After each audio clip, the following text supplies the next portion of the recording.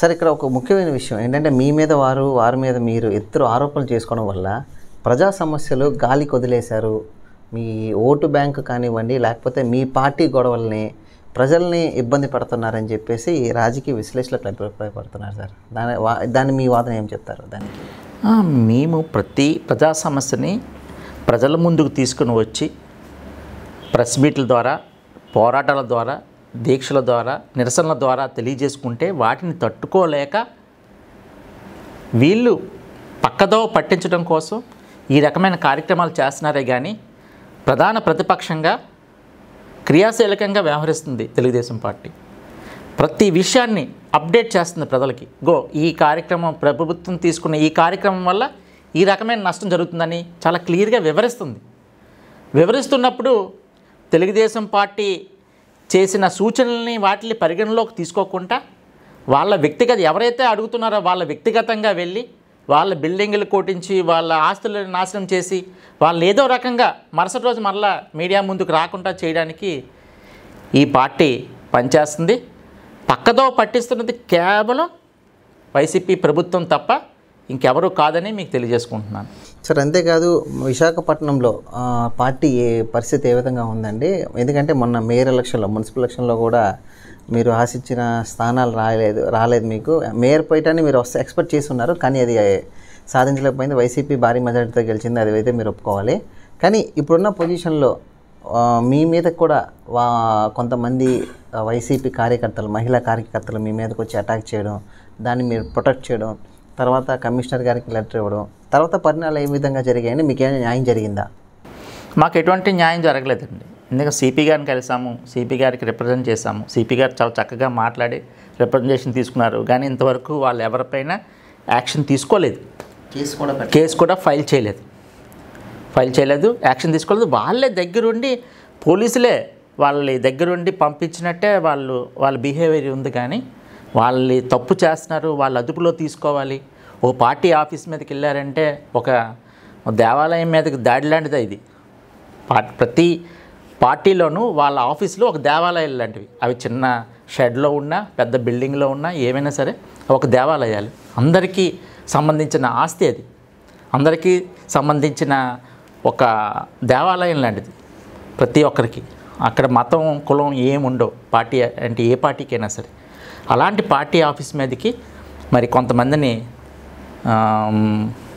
Engage చేసి ఇదే వ్యక్తులు గతంలో చంద్రబాబు నాయుడు గారిని ఎయిర్పోర్ట్లో అడ్డుకున్నప్పుడు కూడా వీళ్ళే మహిళలు.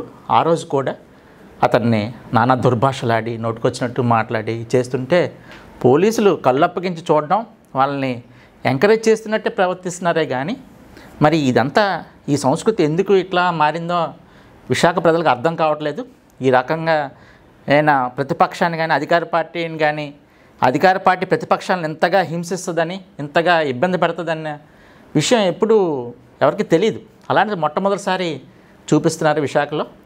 మరి ఈ పరిణామాలు మంచివి కాదు రాజకీయాలకి ఇది కరెక్ట్ కాదు. ఎందుకంటే రాజకీయాల్లోకి వచ్చే వాళ్ళు ఖచ్చితంగా ఏదో ఈ సమాజానికి చేయాలని ఈ సొసైటీకి మంచి చేయాలని అభివృద్ధి చేయాలని తపన పడాలి అధికారం ఉండేవాడు.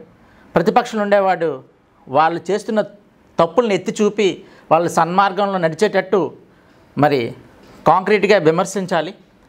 అది చేయాలి. అంతేగాని వీళ్ళు ఇష్టానుసారంగా ప్రవర్తించడం మేము చెప్పిందే వేదం మేము చెప్పిందే న్యాయం మేము చెప్పిందే రాజ్యాంగం అన్న విధంగా వీళ్ళు ప్రవర్తిస్తున్నారు.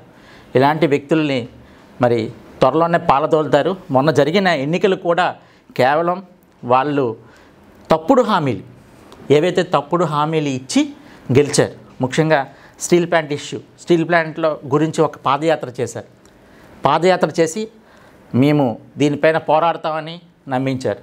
అదేవిధంగా గ్రా ప్రతి డివిజన్లోనూ ఒక మూడు వేల మందికి పట్టాలు ఇష్యూ చేశారు. మీ అందరికీ ఒక పెద్ద పెద్ద మీటింగ్స్ పెట్టి లక్షలాది రూపాయలు ఖర్చు పెట్టి వాళ్ళకి పట్టాలు ఇచ్చి మీకు అందరికీ స్థలాలు ఇస్తాము.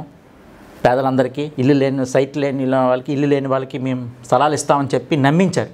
ఈరోజు ఈ రోజుకి ఎలక్షన్స్ అయ్యి సుమారు ఆరు నెలలే ఎంత అవుతుంది.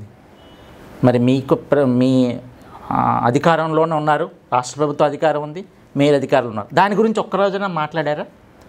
అవి ఎక్కడ ఇద్దాం? ఎక్కడ ల్యాండ్ ఎక్కేర్ చేశారు? ఎక్కడ వాళ్ళకి పట్టాలు ఇస్తారు? ఏ రోజైనా మాట్లాడారా? వాళ్ళు చెప్పే వైసీపీ ప్రభుత్వం కానీ వైసీపీ నాయకులు చెప్పేది ఏంటంటే టీడీపీ ప్రభుత్వానికి పట్టాలు ఇవ్వడం ఇష్టం లేదు. అందుకనే కేసులు వేస్తున్నారు. ఆ పక్కన కోర్టుని మేనేజ్ చేస్తున్నారు. తీర్పులు వాళ్ళకు అనుకూలంగా తెచ్చుకుంటున్నారు అని చెప్పి వాళ్ళు చేసే విమర్శ. ఆ, కరెక్టే. ఇక్కడ మీకు రూరల్ పట్టాస్ వేరండి. అర్బన్ వేరండి. రూరల్లో జరిగిన విషయాలు వేరు అర్బన్లో జరిగిన విషయాలు. రూరల్లోనూ ఇష్యూ చేయడము జగనన్న ఇంటి పథకాలు అవి ఆ గోతుల్లోనూ నదుల్లోనూ ఇట్లాంటి అన్నిటిలోనూ కాలనీలు అన్నీ ఇచ్చేయడం. అలా వాటి మీద కేసులు అవి జరగచ్చు. కానీ ఇక్కడ జరిగింది ఏంటంటే విశాఖపట్నం జీవీఎంసీ పరిధిలో తొంభై ఎనిమిది డివిజన్ల పరిధిలో ప్రతి డివిజన్లోనూ మీటింగ్ పెట్టి పెద్ద టెంట్ వేసి మరి ఎవరైతే యూసీడీ డిపార్ట్మెంట్ పీడీ గారు దగ్గరుండి ఆ మహిళల ద్వారా అందరిని రప్పించి సుమారు మూడు వేల నుంచి నాలుగు వేల మందికి ప్రతి డివిజన్లోనూ వాళ్ళకి మీకు పట్టా ఇస్తాము మీకు హౌస్ సైట్ ఇస్తాము హౌస్ సైట్ హామీ పత్రం హామీ పత్రం ఇచ్చారు. ఆ హామీ ఏమైంది? ఎక్కడుంది ఆ హామీ? అది మోసం చేయడం కాదా? మరి స్టీల్ ప్లాంట్ గురించి మీరు పోరాడుతున్నారా? మరి అక్కడ గల్లీలో ఇక్కడ తిరగడం కాదు. మరి ఢిల్లీ వెళ్ళి మాట్లాడుతున్నారా ఎవరైనా? అక్కడ మాట్లాడలేదు. ప్రభుత్వానికి అల్టిమేటం ఇస్తున్నారా? మాట్లాడట్లేదు మరి స్పెషల్ స్టాటస్ గురించి మాట్లాడుతున్నారా? మాట్లాడలేదు. రైల్వే జోన్ గురించి మాట్లాడుతున్నారా? దేని గురించి మాట్లాడకుండా కేవలం ప్రజల్ని మభ్యపెట్టి ఆ రోజు ఎన్నికల్లో విచ్చలవిడిగా డబ్బు మంది మార్బలం ముఖ్యంగా వాలంటీర్ వ్యవస్థని ఉపయోగించి విజయసాయిరెడ్డి గారు ప్రతి వాలంటీర్ తోటి ఎవరైతే పథకాలు తీసుకున్నారో వాళ్ళందరి దగ్గరికి వెళ్ళి బెదిరించారు ఆ రోజున. మీరు ఓటేయకపోతే మీకు ఈ పథకం రేపటి నుంచి రాదు అంటే ఆ పేదవాడు భయపడి ఆ రోజున ఓటేయడం జరిగింది. అంతే తప్పించి వాళ్ళకి బలం కాదు. ఎట్టి పరిస్థితుల్లోనూ విశాఖపట్నం తెలుగుదేశం పార్టీకి కంచుకోట. ఎందుకంటే నాలుగు నియోజకవర్గాలు గెలుచుకున్న ప్రాంతం ఎక్కడైనా ఏ జిల్లాలోనైనా ఉందంటే విశాఖపట్నమే. ఒకే చోట ఒక గ్రేటర్ విశాఖ పరిధిలో నాలుగు నియోజకవర్గాలు గెలుచుకున్నాం.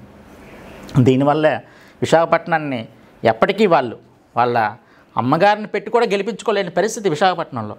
విశాఖపట్నం అంటే తెలుగుదేశం పార్టీకి ఒక నమ్మకం. తెలుగుదేశం పార్టీ అంటే నమ్మకం వాళ్ళకి. ఎందుకంటే అతను చేసిన సేవలు అట్లాంటివి. చంద్రబాబు నాయుడు గారు. హుదూద్ టైంలో అతను హుదూద్ వస్తుందని తెలిసి ఈస్ట్ గోదావరి వరకు రాజమండ్రి వరకు వచ్చి ఆ తగ్గిన తర్వాత వెంటనే లోపలికి వచ్చి విశాఖపట్నంలోనే మరి అతను చేసిన సేవలు ప్రతి ఒక్కరికి ఎప్పటికీ మర్చిపోరు. ఇక్కడ ఉండే ప్రజలు ఎవరికి ఎప్పుడూ మర్చిపోరు. అలాంటి తెలుగుదేశం పార్టీకి వీళ్ళేమి చేయలేరు. తాత్కాలికంగా ఆనందాలు పొందొచ్చు. తాత్కాలికంగా పవర్ని చేజెక్కించుకోవచ్చు. కానీ రేపు రాబోయే జనరల్ ఎలక్షన్స్లో తెలుగుదేశం పార్టీ విశాఖపట్నం పార్లమెంట్ పరిధిలో స్వీప్ చేయబోతుందని తెలియజేసుకుంటున్నాను.